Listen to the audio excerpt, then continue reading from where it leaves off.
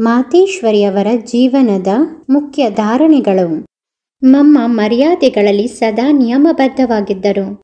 ಅವರ ಸ್ಥಿತಿ ಸ್ವಾಭಾವಿಕ ದೇಹಿ ಅಭಿಮಾನಿಯಾಗಿತ್ತು.